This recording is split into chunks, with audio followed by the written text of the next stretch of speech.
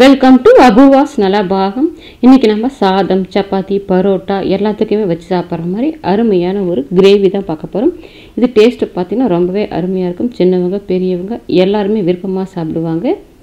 நம்ம இன்றைக்கி முட்டையை வச்சு தான் இந்த முட்டை கிரேவி பண்ண போகிறோம் வாங்க பார்த்த சுவையான முட்டை கிரேவி எப்படி பண்ணலான்னு பார்க்கலாம். முட்டை கிரேவி பண்ணுறதுக்கு நான் ஒரு மிக்சிங் பவுலில் அஞ்சு முட்டையை உடச்சி ஊற்றிட்டு வச்சுருக்கேன். நீங்கள் உங்கள் தேவைக்கு தகுந்த மாதிரி எடுத்துக்கலாம். இப்போ இதில் இந்த முட்டைக்கு தேவையான அளவுக்கு கால் ஸ்பூன் உப்பு அது கூடவே ரெண்டு பிஞ்ச் அளவுக்கு மஞ்சத்தூள் சேர்த்துட்டு இந்த முட்டையில் உப்பு மஞ்சத்தூள் எல்லாம் ஒன்றா சேர்ந்து வரணும். இப்போ நம்ம இதை நல்லா கலந்து பீட் பண்ணிவிட்டு எடுத்துக்கலாம். இப்போ முட்டையை பார்த்தீங்கன்னா நல்லா நான் பீட் பண்ணிட்டேன். இப்போ ஒரு இட்லி தட்டு வச்சுருக்கேன். அந்த இட்லி தட்டில் நம்ம ஃபுல்லாக நல்லா எண்ணெய் தடவி விட்டுக்கலாம். எண்ணெய் தடவிட்டு நம்ம ஊற்றி வேக வைக்கும்போது தான் வெந்த பிறகு ஒட்டி பிடிக்காமல் எடுக்கிறதுக்கு வரும். இப்போ ஒரு சின்ன குழி கரண்டி சட்னி கரண்டி எடுத்துட்டு அதில் முக்கால் அளவுக்கு ஊற்றிக்கோங்க ஃபுல்லாக ஊற்றிட்டிங்கன்னா வெந்து வரும்போது ரொம்ப பொங்கி வர்ற மாதிரி இருக்கும். அதனால் நீங்கள் முக்கால் குழி அளவுக்கு ஊற்றிட்டிங்கன்னா அது வெந்து வர்றதுக்கு சரியாக இருக்கும். இப்போ நான் பார்த்தீங்கன்னா இட்லி தட்டில் ஃபுல்லாக நான் ஊற்றிட்டேன் இட்லி தட்டில் ஊற்றிக்கிட்டு இருக்கப்பவே நான் ஒரு இட்லி பாத்திரத்தில் தண்ணியும் வச்சு வச்சுருக்கேன். தண்ணி நல்லா கொதிச்சிடுச்சு. இந்த மாதிரி தண்ணி கொதி வந்த பிறகு நம்ம முட்டையை வச்சு வேக வைக்கும்போது ரொம்ப டைம் எடுக்காது. ஒரு அஞ்சுலேருந்து ஏழு நிமிஷத்துக்குள்ளேயே நமக்கு முட்டை சீக்கிரமாகவே வெந்து வந்துடும். இப்போ நம்ம தட்டை போட்டு மூடிட்டு எடுத்து வச்சிடலாம். இப்போ பார்த்தீங்கன்னா இதே மாதிரி எடுத்து இன்னும் ஒரு இட்லி தட்டுக்குமே வந்தது. நான் அதையும் ஊற்றி வச்சுருக்கேன். இதை ஊற்றி வேக வச்சு எடுத்த பிறகு அதையுமே வச்சு வேக விட்டுக்கலாம்.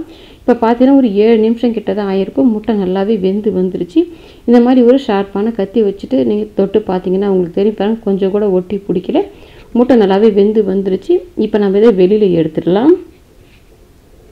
இப்போ பார்த்தா இன்னும் ஒரு தட்டு நான் ஊற்றி வச்சுருந்தது. அதையுமே நான் வேக வச்சுட்டேன். ரெண்டு தட்டுமே நமக்கு முட்டை நல்லா வெந்து வந்துருச்சு. இப்போ நம்ம இது லேசாக கொஞ்சம் ஆறி வரட்டும்.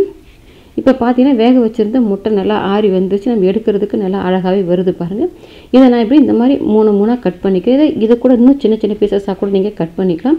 இல்லை முழுசாக சேர்க்கறதுனாலும் சேர்த்துக்கலாம். நம்ம கட் பண்ணிவிட்டு செய்யும்போது அதில் அந்த மசாலாவெல்லாம் ஏறிட்டு முட்டை சாப்பிட்றதுக்கு நல்லா டேஸ்ட்டாக இருக்கும். கிரேவிக்குமே நல்லா டேஸ்ட்டு கொடுக்கும். நான் பார்த்தீங்கன்னா அந்த ரெண்டு தட்டில் ஊற்றி வச்சுருந்த முட்டை எல்லாத்தையுமே கட் பண்ணி எடுத்து வச்சுட்டேன். நீங்கள் உங்களுக்கு எந்த சைஸ் தேவையோ அதுக்கு தகுந்த மாதிரி கட் பண்ணிக்கோங்க.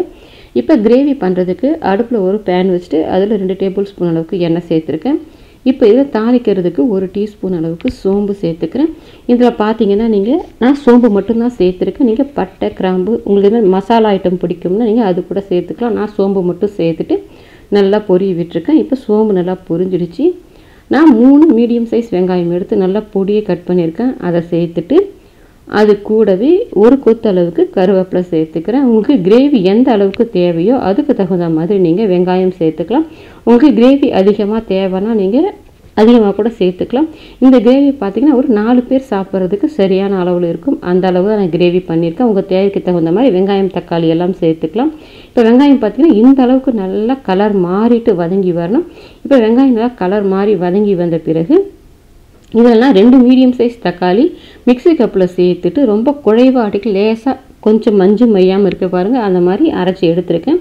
இப்போ அதை சேர்த்துட்டு அது கூடவே ஒன்றரை ஸ்பூன் அளவுக்கு இஞ்சி பூண்டு பேஸ்ட்டு சேர்த்துருக்கேன். இப்போ இந்த இஞ்சி பூண்டு பேஸ்ட்டை சேர்த்துட்டு அதோட பச்சை வாசனை போக நம்ம நல்லா அந்த தக்காளி இஞ்சி பூண்டையும் ஒன்றா சேர்த்து வதக்கும் போது தக்காளியில் இருக்கிற ஈரத்தன்மையும் நமக்கு நல்லா வதங்கி வந்துடும் அதே சமயத்தில் இஞ்சி பூண்டோட பச்சை வாசனையும் நமக்கு நல்லா போயிடும். இப்போ ரெண்டுத்தையுமே தனித்தனியாக நம்ம வதக்கணும்னு அவசியம் இல்லை ஒன்றாவே சேர்த்துட்டு நல்லா வதக்கி விட்டுக்கோங்க. இப்போ பார்த்தீங்கன்னா இஞ்சி பூண்டோட பச்சை வாசனையும் போயிட்டு தக்காளியுமே நல்லா வதங்கி வந்துருச்சு. இப்போ இந்த அளவுக்கு நல்லா வதங்கி வந்த பிறகு இதுக்கு தேவையான மசாலா சேர்த்துக்கலாம். காரத்துக்கு நான் ஒன்றரை டீஸ்பூன் தனி மிளகாத்தூள் சேர்த்துக்கிறேன். நீங்கள் உங்கள் காரத்துக்கு தகுந்த மாதிரி மிளகாத்தூள் சேர்த்துக்கோங்க. அது கூடவே ஒன்றரை டீஸ்பூன் அளவுக்கு மல்லித்தூள். கால் ஸ்பூன் அளவுக்கு சீரகத்தூள். நம்ம ஏற்கனவே மிளகாத்தூள் சேர்த்துருக்கோம். அது கூட முட்டை சேர்க்குறதால மிளகுத்தூள் சேர்த்து செய்யும்போது டேஸ்ட்டாக இருக்கும். அரை டீஸ்பூன் மிளகுத்தூள் அரை டீஸ்பூன் கரம் மசாலா.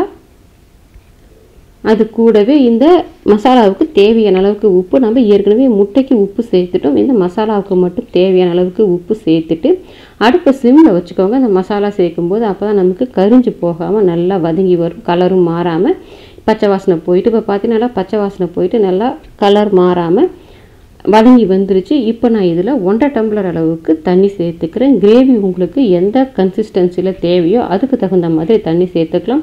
உங்களுக்கு கொஞ்சம் கிரேவி தண்ணியாக தேவைன்னா கொஞ்சம் தண்ணி அதிகமாக கூட சேர்த்துக்கலாம். நான் கொஞ்சம் ரொம்ப தண்ணியாகவும் இல்லாமல் அதே சமயத்தில் ரொம்ப திக்காகவும் இல்லாமல் செய்கிறேன் இதனால் கிரேவி மாதிரி பண்ணுறேன் இதையே நீங்கள் முட்டை வறுவல் மாதிரி கூட பண்ணலாம். அந்த மாதிரி பண்ணும்போது வெங்காயம் தக்காளி கொஞ்சம் கம்மி பண்ணிவிட்டு தண்ணியை கொஞ்சம் கம்மியாக வச்சுட்டு நீங்கள் வறுவலாக பண்ணிக்கலாம்.